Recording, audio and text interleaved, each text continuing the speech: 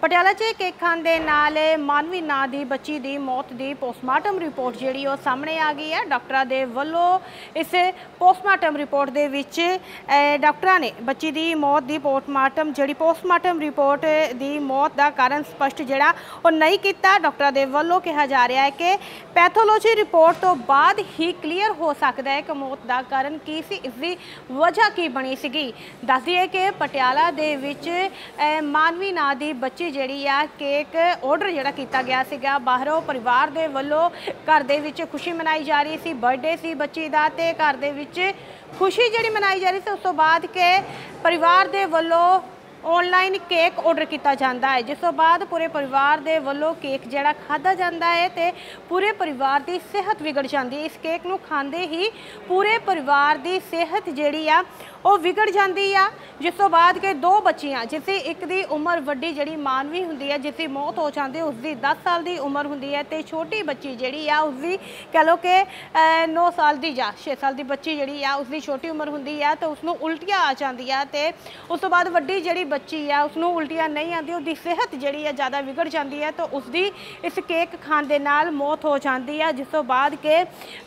ਪਰਿਵਾਰ ਦੇ ਵੱਲੋਂ ਸ਼ਿਕਾਇਤ ਦਰਜ ਕਰਵਾਈ ਜਾਂਦੀ ਆ, ਪੁਲਿਸ ਦੇ ਵਿੱਚ ਪੁਲਿਸ ਦੇ ਵੱਲੋਂ ਕਾਰਵਾਈ ਕੀਤੀ ਜਾਂਦੀ ਹੈ ਤੇ ਹੁਣ ਡਾਕਟਰਾਂ ਦੇ ਵੱਲੋਂ ਜਿਹੜੀ ਆ ਪੋਸਟਮਾਰਟਮ ਰਿਪੋਰਟ ਜਿਹੜੀ ਆ ਉਹ ਸਾਹਮਣੇ ਆਈ ਹੈ। ਡਾਕਟਰਾਂ ਦੇ ਵੱਲੋਂ ਇਸ ਪੋਸਟਮਾਰਟਮ ਰਿਪੋਰਟ ਦੇ ਵਿੱਚ ਬੱਚੀ ਦੀ ਮੌਤ ਦਾ ਕਾਰਨ ਜਿਹੜਾ ਉਹ ਸਪਸ਼ਟ ਨਹੀਂ ਕੀਤਾ ਜਾਂਦਾ। ਡਾਕਟਰਾਂ ਦੇ ਵੱਲੋਂ ਕਿਹਾ ਜਾ ਰਿਹਾ ਕਿ ਪੈਥੋਲੋਜੀ ਰਿਪੋਰਟ ਤੋਂ ਬਾਅਦ ਹੀ ਕਲੀਅਰ ਹੋ ਸਕਦਾ ਹੈ ਕਿ ਮੌਤ ਦਾ ਕਾਰਨ ਕੀ ਸੀ, ਇਸ ਦੀ ਵਜ੍ਹਾ ਕੀ ਬਣੀ ਹੈ। ਉਸ ਤੋਂ ਬਾਅਦ ਹੀ ਡਾਕਟਰ ਜਿਹੜੇ ਆ ਕੁਝ ਦੱਸ ਸਕਦੇ ਨੇ ਕਿ ਮੌਤ ਦੀ ਕਾਰਨ ਜਿਹੜਾ, ਉਹ ਮੌਤ ਦਾ ਕਾਰਨ ਜਿਹੜਾ ਉਹ ਕੀ ਸੀ, ਇਸ ਦੀ ਵਜ੍ਹਾ ਕੀ ਬਣੀ ਹੈ। ਪਰ ਇਸ ਦੇ ਵਿਚਕਾਰ ਬਾਹਰੋਂ ਜਿਹੜਾ ਕੇਕ ਆਰਡਰ ਕੀਤਾ ਜਾਂਦਾ ਹੈ ਤੇ ਉਸ ਮਾਨਵੀ ਨਾਂ ਦੀ ਬੱਚੀ ਜਿਹੜੀ 10 ਸਾਲ ਦੀ ਉਮਰ ਹੁੰਦੀ ਆ, ਤਸਵੀਰਾਂ ਦੇ ਵਿੱਚ ਤੁਸੀਂ ਵੇਖ ਸਕਦੇ ਹੋ ਕਿਸ ਤਰ੍ਹਾਂ ਇਹ ਪਰਿਵਾਰ ਦੇ ਵਿੱਚ ਖੁਸ਼ੀ ਹੁੰਦੀ ਹੈ ਤੇ ਖੁਸ਼ੀ ਜਿਹੜੀ ਇੱਕਦਮ ਹੀ ਮਾਤਮ ਦੇ ਵਿੱਚ ਉਦੋਂ ਬਦਲ ਜਾਂਦੀ ਹੈ ਜਦੋਂ ਕੇਕ ਖਾਂਦੇ ਹੀ ਇਹਨਾਂ ਬੱਚਿਆਂ ਦੀ ਤਬੀਅਤ ਵਿਗੜ ਜਾਂਦੀ ਹੈ, ਪੂਰੇ ਪਰਿਵਾਰ ਦੀ ਤਬੀਅਤ ਜਿਹੜੀ ਉਹ ਵਿਗੜ ਜਾਂਦੀ ਆ ਤੇ ਇਹ ਵੱਡੀ ਬੱਚੀ ਜਿਹੜੀ ਆ, ਇਸ ਦੀ ਮੌਤ ਹੋ ਜਾਂਦੀ ਹੈ ਜਿਸ ਦਾ ਨਾਮ ਮਾਨਵੀ ਹੁੰਦਾ ਹੈ ਤੇ ਛੋਟੀ ਬੱਚੀ ਜਿਹੜੀ ਆ, ਉਸ ਦੀ ਉਸ ਨੂੰ ਹਸਪਤਾਲ ਦਾਖਲ ਕਰਵਾ ਕਰਵਾਇਆ ਜਾਂਦਾ। ਉਸ ਬੱਚੀ ਨੇ ਜਦੋਂ ਕੇਕ ਖਾਦਾ ਤਾਂ ਉਸ ਨੂੰ ਉਲਟੀਆਂ ਆ ਹੈ ਤੇ ਕੇਕ ਸਾਰਾ ਬਾਹਰ ਨਿਕਲ ਜਾਂਦਾ ਹੈ ਤਾਂ ਉਸ ਨੂੰ ਹਸਪਤਾਲ ਦਾਖਲ ਕਰਵਾਇਆ ਜਾਂਦਾ। ਦੋਵੇਂ ਬੱਚੀਆਂ ਦੀ ਸਿਹਤ ਜਦੋਂ ਵਿਗੜਦੀ ਹੈ ਤਾਂ ਉਦੋਂ ਹੀ ਉਹਨਾਂ ਨੂੰ ਹਸਪਤਾਲ ਦਾਖਲ ਕਰਵਾਇਆ ਜਾਂਦਾ। ਪਰ ਵੱਡੀ ਬੱਚੀ ਜਿਹੜੀ ਹੈ, ਇਸ ਵਿੱਚ ਨਹੀਂ ਉਸ ਜਾਨ ਜਿਹੜੀ ਆ ਬਚੀ ਨਹੀਂ ਆ, ਉਸਦੀ ਮੌਤ ਹੋ ਜਾਂਦੀ ਆ।